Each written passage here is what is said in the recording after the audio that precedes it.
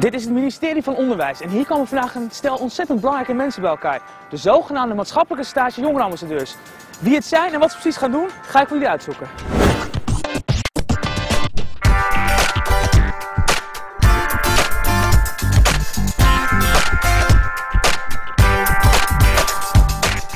Het gaat natuurlijk om jullie rol als uh, jongerenambassadeurs voor de maatschappelijke stage.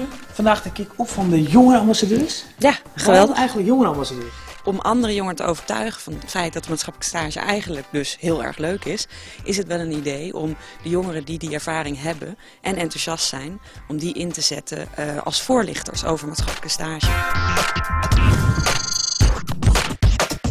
We horen heel veel uh, jongeren zeggen dat ze eigenlijk de maatschappelijke stage voordat ze beginnen niet zo heel erg leuk vinden. En nadat ze de stage hebben gelopen uh, het allemaal heel erg leuk vinden. Nu ben jij een van de jongerenambassadeurs. Ja. Waarom? Uh, ja, ik wil gewoon helpen het stage te verbeteren. Gewoon om een beetje mening erin te krijgen en zo. We hebben op heel veel verschillende manieren scholen uh, in ieder geval laten weten dat we dit project gaan starten.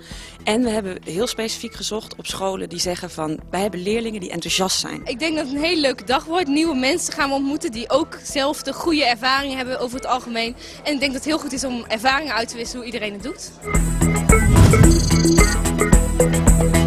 Ze krijgen twee workshops. Uh, een workshop uh, over social media en ze krijgen een workshop over uh, eigenlijk een presentatieworkshop. Wij hebben geleerd hoe je um, social networks moet gebruiken om de maatschappelijke stage en zo en de MAS gewoon een beetje te promoten. Zodat het voor iedereen een beetje duidelijk wordt dat ze echt een verschil kunnen maken in het maatschappelijke stage. Iets over hoe je een presentatie kan doen, open vragen stellen. Heb je ook idealen die je hiermee wil bereiken met um, massa-ambassadeur zijn? De mensen die, uh, die, uh, die het al... Uh... Ze krijgen allemaal vandaag een flipcamera, uh, zodat ze ook gewoon gelijk de ervaringen die ze zien of die ze hebben met maatschappelijke stage hup, uh, kunnen uploaden op die, uh, op die site. En tijdens de workshops vandaag krijgen ze ook even te horen, weet je, hoe werkt dat nou, hoe doe je dat nou goed, wat doe je nou wel en niet met die flip. Met die flipvideo's laten ook mensen zien waar wij mee bezig zijn, zodat het ja, maatschappelijke stage ook meer voor andere mensen te zien is. En dan kunnen mensen ook zien wat voor dingen wij nou eigenlijk doen. We gaan die huissite openen, openen want dat is natuurlijk toch de manier om gewoon met een veel breder publiek nog te communiceren. Er wordt vandaag uh, uh, een Hives-pagina gelanceerd. Uh, de Hives-pagina. En op die pagina gaan al die ambassadeurs met elkaar praten over hun ervaringen en met andere leerlingen communiceren over maatschappelijke stage. Applaus voor jullie komst voor jezelf.